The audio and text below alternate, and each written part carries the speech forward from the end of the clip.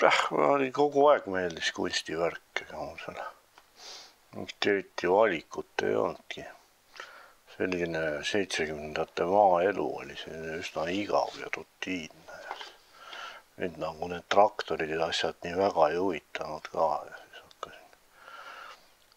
noh, isa oli käinud ka vaatama, olid kunagi olid siin mingid need kujutava kunsti kaugõppekursused oli seal vist ühe aasta käinud.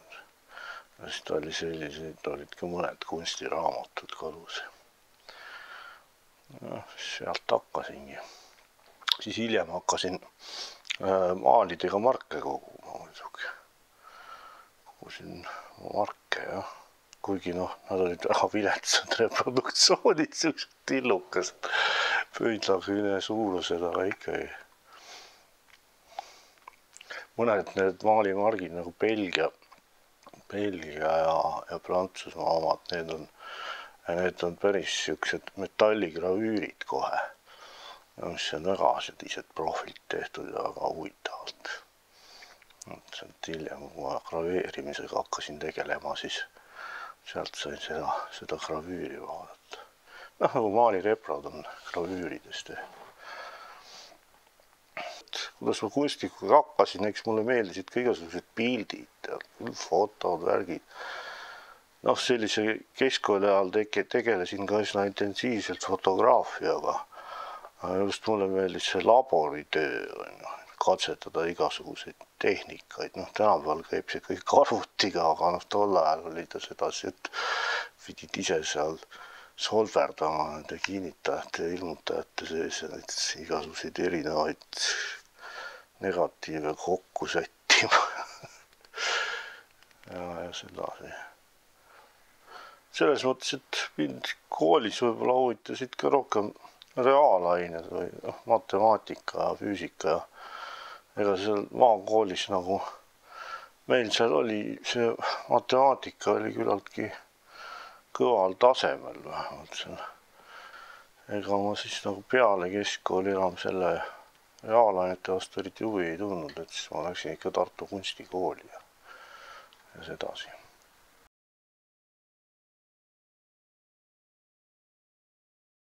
kõigepealt ma astusin isegi enne sõjaväge sinna Tartu kunstikooli.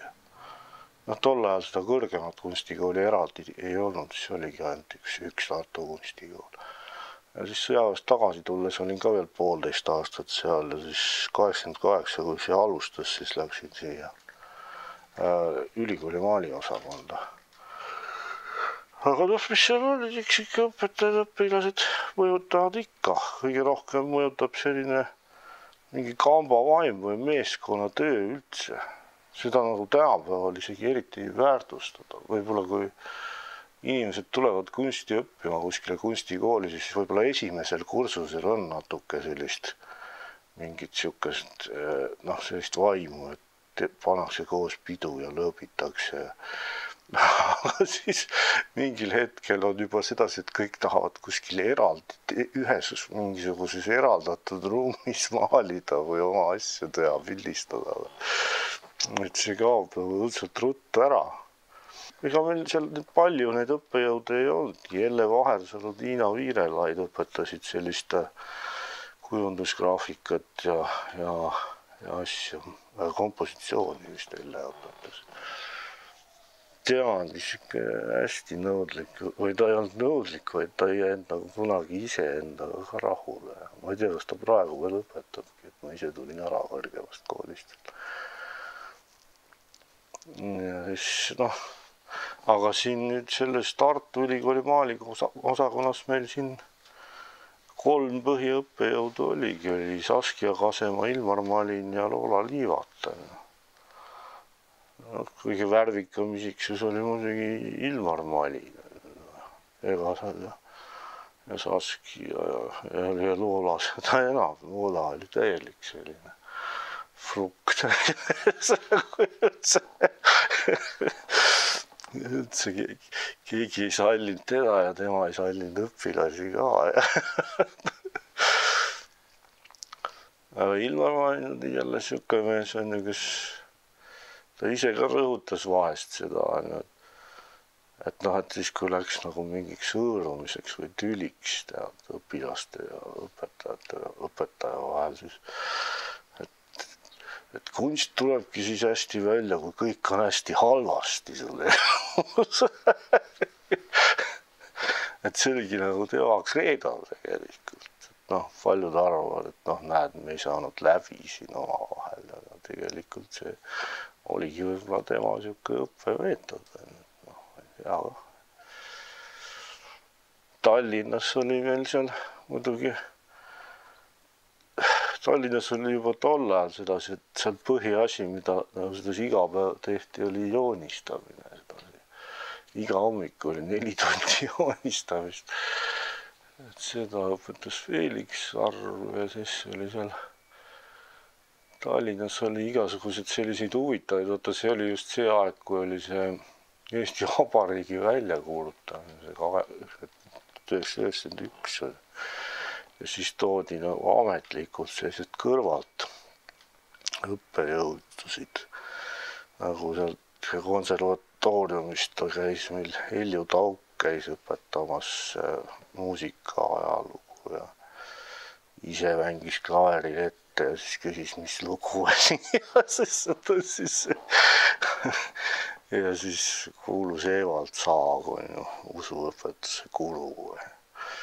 Kes siis õpetas meile seda Vana Testamenti ja uut ja siis ka natuke.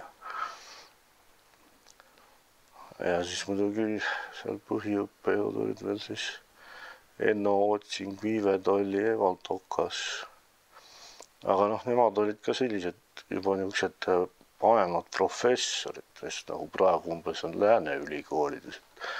et ega me nendega eriti palju kokku ei puutunud. Et ise pidi üles otsima ja, ja siis oma pilte näitama.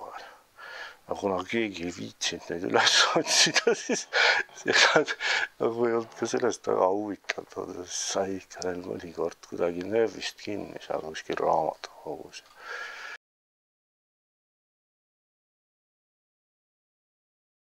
ma kah noorena lugesin hästi palju neid, noh, nii palju kui neid oli, neid Amundseni ja Nanseni ja igasuguste polaarekspeditsioonide ja ja kuulsate matkameeste raamatut, kuidas nad, eriti oli huvitav, kuidas nad koostasid oma meeskonda et jah, et kuidas seal, sealt oli noh et väga erinevad inimesed pandi kokku, eriti Amundseni kohta on seda kirjutatud. Et alati pidi olema mingi naljamees seal ja, ja siis mingisugune kuritõsine mees, kes alati oponeeris teistele mingi selline, selline rida, see on päris huvitav. ja, ja, ja, ja kunstis sama, samamoodi, et noh, mulle kah need rühmitused, kus ma olen osalenud, on ju kursikoolkond ja ja siis noh, ratarühmitused, et need ongi võib-olla selle poolest ka huvi pakkunud. et ma tean palju kunstnikke, kes on, kes pole kunagi sellest huvitatud ja isegi põlgavad sellist tegevust, on ju, et et mina alati ise hakkama saanud või noh, mingi selline suhtumine ei ole mul kedagi teist vaja siin tavaliselt nende meeskondadega ja, ja, ja, ja selliste rühmitustega ongi nii, et kõige intensiivsemalt käib sedasi paar-kolm esimest aastat selline koostöö ja, ja värk, aga siis noh, mingil ajal siis hakkasime juba seal personaalnäitust tegema, näitusi ja Ilmar ikka vedas korraldas mingeid neid niisuguseid suuremaid kursinäitusi ka, aga noh, tema oligi siis juba kuskil alates võib-olla üheksakümmend neli, üheksakümmend viis oli Ilmar Ruusamäe see kursikoolkonna põhiselline hing või kuidas öelda. Et, et jah, ja ega siis noh, ja siis noh, mingil hetkel juba kõik muutusid nii suureks klassikusteks, et et noh, et ma tundusin endale sihuke ainuke punkar seal ja siis tulin ära aeg sai läbi lihtsalt ja kõik, mis asja, see oli juba üle kahekümne aasta juba kõik, kui see oli. või noh, nüüd juba kolmkümmend aastat, sest pausti lahti. see on juba nagu mingi, nagu Mäedam ütles kunagi, et see on nagu ansambel Kukerpillid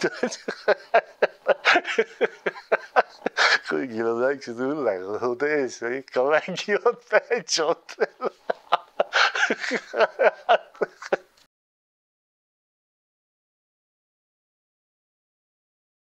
mind selline kaasaegne performance nagu sedasi kapitaalselt või kuidagi äh, noh, sajaprotsendiliselt äh, ei huvitagi ja, ja paljud asjad jää, jätavad mind, mind külmaks, aga, aga see non-grata värk huvitab mind küll. ja all on ju tohutu võimas isiksus on ju seal paljud asju ta teebki nüüd sedasi, et ta läheb kuskile koha peale ja seal räägib mingid inimesed ära, et tulge meiega koos perfokat tegema. ja kõik tulevadki kaasa. no see oli kõik nii põnev. seepärast ega nad ju praegu ka oma asjast enne kellelegi sedasi väljaspool oma ringi ei räägi, onju. nagu sa ise kohale läksid ja seal sõbraks said. ma alguses läksingi sinna sedasi, et ma ei läinudki nagu õppejõuks, vaid, vaid ta, noh, Sorgega sai räägitud ja Albaldrukiga ja siis läksin sinna lihtsalt suvel maal, suveks, ehk suveks maalima. kuna suvel oli neil nagunii maja tühi, seal see endine lasteaiahoone Riia, Riia seitsekümmend vist oli või sada seitsekümmend. ja siis jäingi sinna siis mingiks õppejõuks ja aga seal oli vahva jah, seal oli väga vahvad, kõik on vahvad inimesed siiamaani seal. ja õpilased olid toredad. esimene päev, kui ma sinna läksin, siis noh, vaatasime Sorgega, et, et oleks vaja tead nüüd kuskilt mingeid, kas mingit vana maja siin ei ole, küsisin Sorge käest, et ma võiks nüüd vaja alusraame hakata kokku kruvima, kui ma siin maalima tahan hakata siis ütles, et jaa, et siin on üks mahajäetud kirstuvabrik sinna. siis tõime sealt kirstuvabrikust, võtsime takso, järelkäruga takso, tõime sealt neid laudu. ja siis äh, Sorge ütles, et kuule, et ühes kohas oleks vaja veel ära käia haiglas on ju et seal saab nüüd keevitamise jaoks mingeid maha kantud, neid nikeldatud raudvoodeid. siis läksime, laadisime selle selle takso järelkäru nikeldatud raudvoodid täis. Ja siis Sorge muidugi kooris ennast alasti, hüppas sinna, hüppas sinna, sinna tohutu voodihunniku otsa ronis ja ütles, et no tee nüüd must pilti. Siis, siis järgmine hommiku tulid kohe, olid need haiglamehed plaksti seal selles, selles meie majas seal kohal ja küsisid, et Teie viisite meie voodid ära.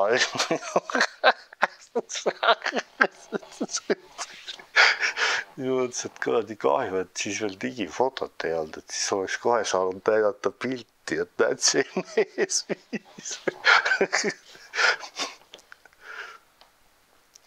No sihukest jama juhtus seal kogu aeg. noh, no mis jama, sihuke lõbus elu oli seal oli üks vanem daam, mingi see üle seitsmekümne aasta vana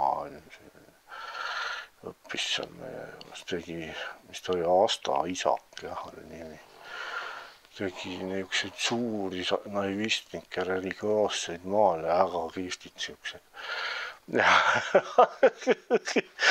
tema oli seal nagu selline korrapidaja umbes, et kui tüdrukud läksid kuskile suitsu tegema nurga taha, siis läks kohe sinna, põrutas peale, et mis suitsu tegemine see on, siin noored tüdrukud?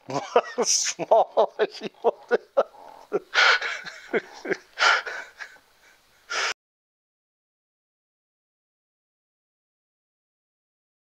oh, ma ei tea, tänapäeval on nüüd kunstisuund ja ja kunstnikke kõik läbisegi nii palju ja, ja väga erinevat, erinevat asja tehakse, on selliseid paduboheemlasi kunstnikke ja on ka niisuguseid äh, päris ontlikke ja korralikke inimesi igasuguseid.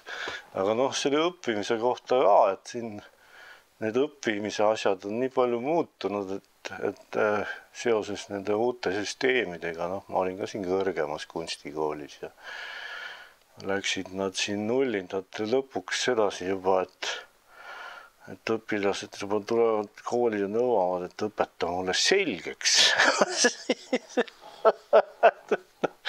et päris nii see ka ole, et sa pead ise ikka õppima seda, et kui sa midagi tahad, mingit nõksu selgeks saada. muidugi see õppimine tuleb ka puhtalt, tegelikult kõige suurem saladus on see, et see tuleb ruutmeetrite pealt mida rohkem sa tööd oled vehkinud, seda seda paremini sul ikka välja tuleb. no ma siin Tartus proovisin ka seal maalida koos õpilastega, aga see on nagu eriti, eriti ei õnnestunud, sest see asi läks niisuguseks kombinaatkooliks kätte, kogu see, see, see praegune süsteem, mis toimib, et ma ütlen, et õpilased tulid, et õpeta mulle maalimine selgeks homseks või midagi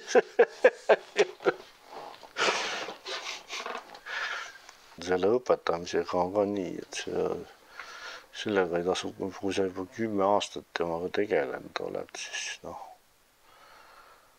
noh, on ka iga, inimesi on igasuguseid, aga mulle sai nagu villand sellest, mina enam õpetama ei hakka kunagi. See mõjub suhtlemisele ka halvasti, kui sa kümme aastat oled käinud seal, seal koolis on ju ja, ja, ja, ja sa oled kohustatud olnud rääkima kogu aeg sedasi tavaliselt isegi täpselt sama juttu tead, et siis, siis see väsitab sul nii ära, et tahaks istuda kuskil põõnapuu all võrvkiiges ja kiikuda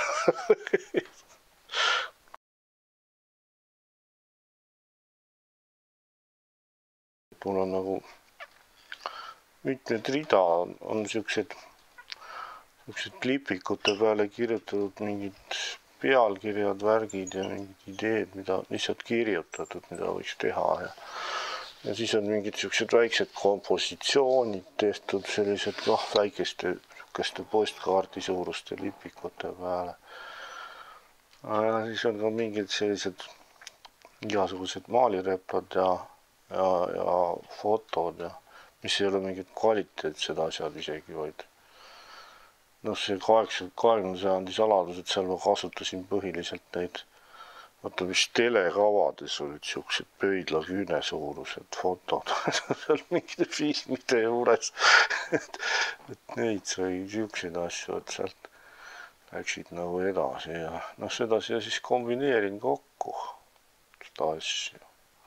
Noh, vahest on ka sedasi, et tuleb terve pilt sedasi korraga pähe ja pealkiri üldiselt enamjaolt on nad sedasi, et, et ma võtan selle paki endale ette ja siis, siis vaatan, et, et millest ma teen nüüd maali, millest ma teen nüüd selle linoollõike, ütleme mm,. et sedasi, et kumb on tehniliselt nagu efektsemalt teostatav, kumb on vähem ei, mulle eriti see protsessi osa ei meeldi, see on pigem selline väsitav töö vahest.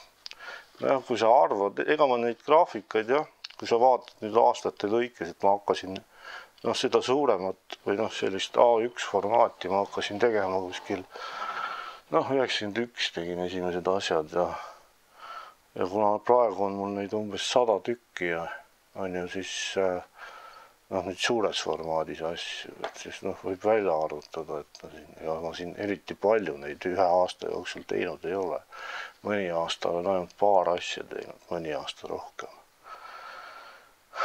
aga noh, mulle meeldib ka pigem sihuke ideede küpsetamise värk ja siis äh, ikkagi see lõpplahendus oli ka oluline. ma ei ole mingi kontseptualism, on ju, kontseptualist et noh, pigem mulle meeldib mingisugused Fellini filmid ja sellised asjad, kus on kus käib sihuke traagika ja klounaad ja kõik on segamini on ju, nagu põhimõtteliselt mingi selline värk. nii et Dionüüsiline, mitte platooniline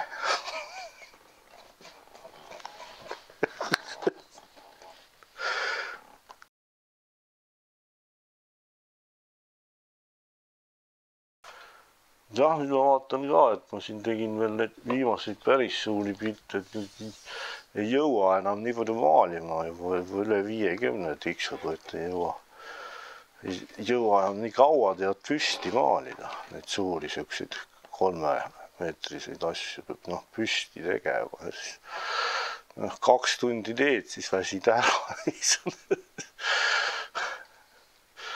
aga kui intensiivselt teha, siis jõuab ikka kahe tunniga ka päris palju tehtud ja järjekindlalt iga päev teha, siis saab ikka maali valmis ka.